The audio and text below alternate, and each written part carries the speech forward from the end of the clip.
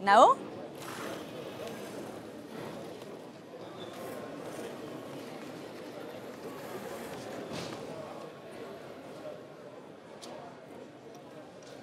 Now?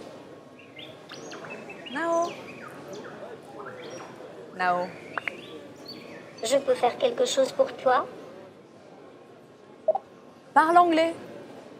Angélique, soyez attentif. Uh, I think he decided to, to dance for you and not to switch in English.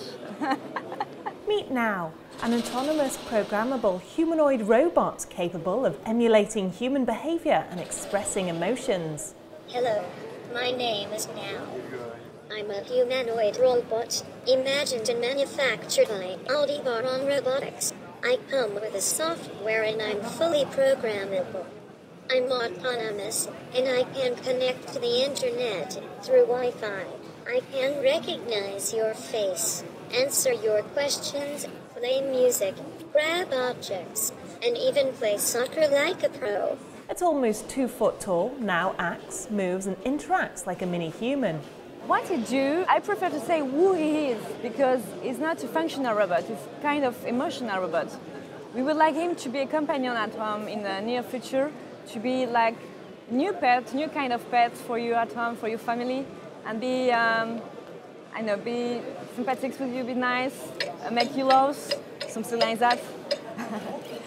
Currently, for the moment, this robot is uh, used in education for academics purpose, uh, for higher education, secondary education, and now even primary education. He can do everything, it's just a matter of imagination because you have to program it. Nao uses four microphones to track sounds, and his voice recognition and text to speech capabilities allow him to communicate in eight languages. He also has two cameras and can track, learn, and recognize images and faces. There is a lot of noise here, so he gets more and more, you know, he's breathing more and more rapidly, and he's like quite excited because, you know, he heard a lot of sounds coming from everywhere, so it's becoming like little stress. And you can see with his body language. And if you touch, if you touch him on his tactile sensor, he can detect it and detect you are touching him. You know, it's what we call his autonomous life. We want him to be all the time alive and not a muppet. And so he's breathing, he has his own behavior, he has his own life. Nao has been in development since 2005 and is constantly evolving. Developers believe he represents the future. It's like computer in the 17. We are at the same level of um, development. I mean, in the 17, we create computer. We didn't know exactly why and what they will do, but now we are all using computer. And you, 30, uh, I mean, 20 or 30 years ago, there we, we, we had kind of pioneer people who create and invent the usage for computer. I think it's now the same with robotics and with humanoid robot. Right now, we, we have a, a community of three, uh, 300 people developing apps, developing content, creating dialogue for the robots because they want to imagine the future of humanoid robots and imagine what it can do at home. Nao has already made quite a name for himself. From 2008, he competed in the RoboCup Standard Platform League, an international robot football competition. He also made headlines doing a synchronized dance routine at the Shanghai World Expo in 2010.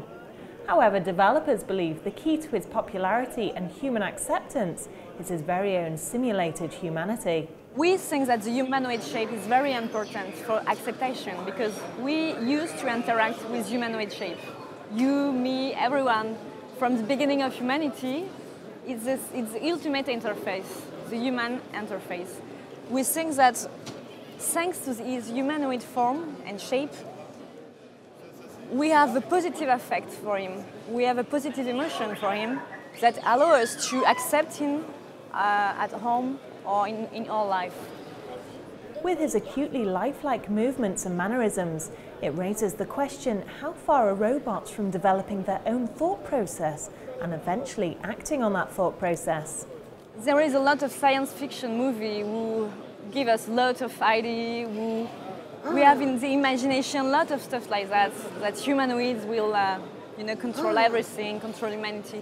I think we are very far, far away about that. And at Aldebaran, we have the strong uh, vision that humanoid robots should be kind, kind robots, you know, should be here to help people, should be here to help humankind.